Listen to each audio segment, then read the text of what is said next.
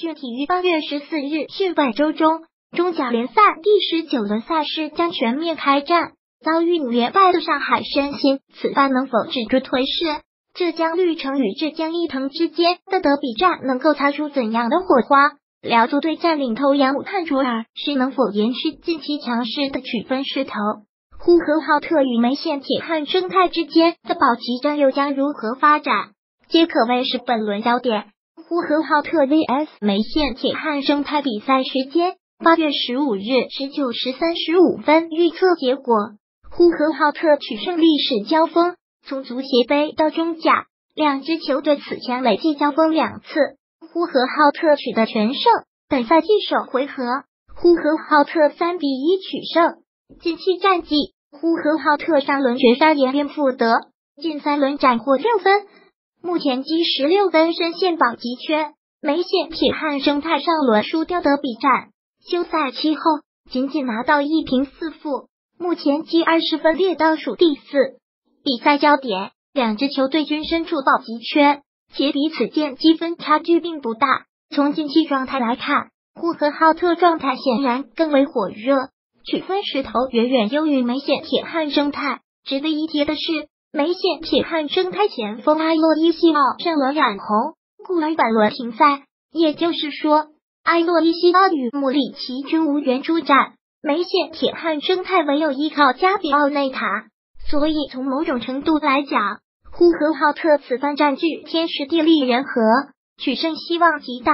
延边府的 VS 大连超越比赛时间：八月十五日十九时三十分。预测结果：延边取胜历史交锋，两支球队此前累计交锋一次。延边富德本赛季首回合凭古兹米奇的入球一比零绝杀大连超越，近期战绩。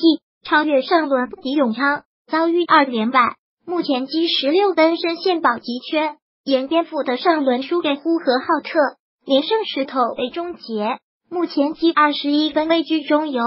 比赛焦点：输给呼和浩特，连胜势头被终结，这对延边府的来说是一个打击。所以延边府的此番回到主场对战超越，取胜自然是唯一目标。较之于延边富德。超越积分形势更严峻，由于连续不胜，球队保级形势愈加岌岌可危。对于超越来说，能否改善本方门前与禁区弧的防守质量，或将是他们此番能否全身而退的关键。要知道，超越此前两轮被对手利用门前强颠攻门及禁区弧远射，攻入了太多球。黑龙江火山名泉 vs 青岛黄海比赛时间。八月十五日十九时三十分，预测结果：平局历史交锋，两支球队此前累计交锋一次。青岛黄海本赛季首回合三比零完胜黑龙江火山名泉。近期战绩，黄海上轮输给伊藤，连续五轮不败势头被终结，目前积二十八分列第六。黑龙江火山名泉上轮战平领头羊武汉卓尔，迎来两连平，目前积二十三分列第九。比赛焦点：黄海是联赛中破门能力最强的球队，场均可以攻入了二点一球。就技术风格来看，黄海推崇传切渗透，得分点也相对较多。同时，王栋的回归增加了球队中场控制力。不同于青岛黄海，黑龙江是一支推崇防反战术的球队。不过，阵中头号得分手巴巴卡上轮伤退离场，次役能否出战存疑。值得一提的是，黑龙江面临攻击型球队时，往往可以凭借密集防守给对手制造大麻烦。所以，黄海欲从黑龙江身上斩获胜利，绝非易事。石家庄永昌 vs 上海申鑫比赛时间：八月十五日十九时三十分。预测结果：永昌取胜历史交锋，从中抽到中甲。两支球队此前交锋五次，永昌取得三胜两平，保持不败。近期战绩，永昌上轮轻取超越夺取两连胜，目前积三十一分列第四。申鑫上轮不敌绿城，遭遇五连败，目前积二十一分列中游。比赛焦点，两支球队近期状态截然不同。永昌逐渐步入正轨，马修斯与艾伦梅卢诺维奇也状态爆棚，率队连战连捷。不同于永昌，申鑫近期状态十分糟糕。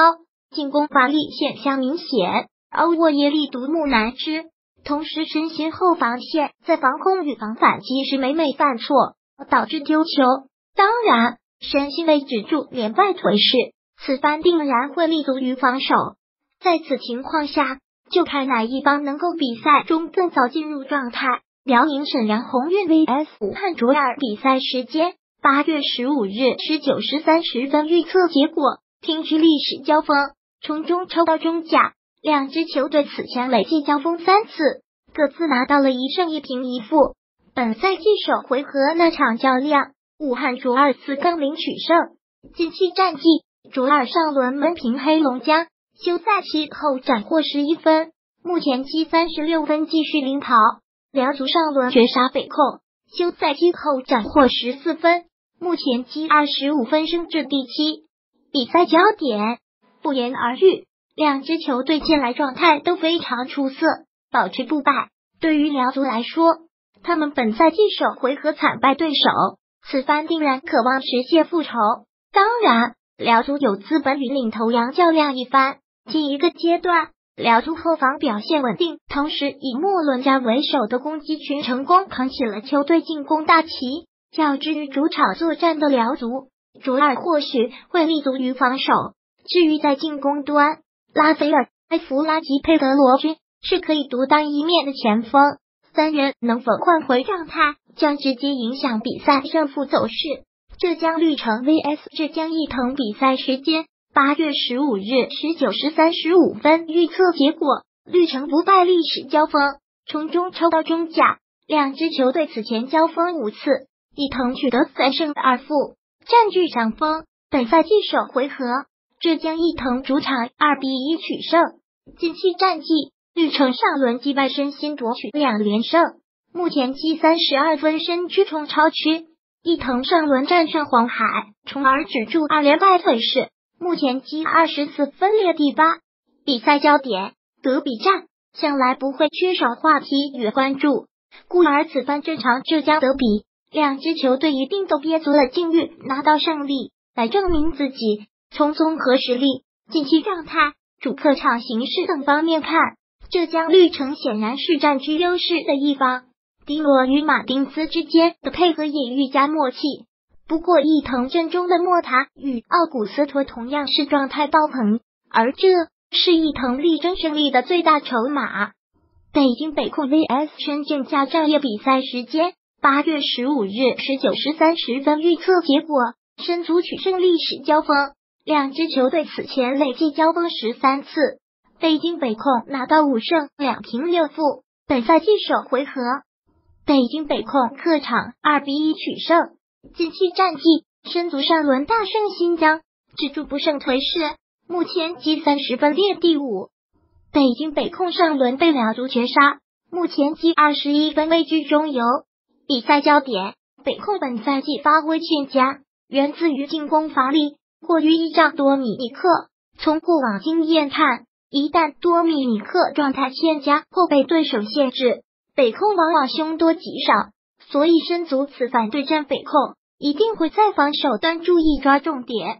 同时，就申足锋线组合来看，普雷西亚多奥哈德扎不仅连场破门得分，并且在输送助攻方面也有突出贡献，故而此番一役，申足全取三分希望极大。新疆天山雪豹 vs 梅州客家比赛时间：八月十五日二十时。预测结果：听取历史交锋，两支球队此前累计交锋五次，梅州客家取得二胜两平一负。本赛季首回合，梅州客家三比零完胜对手。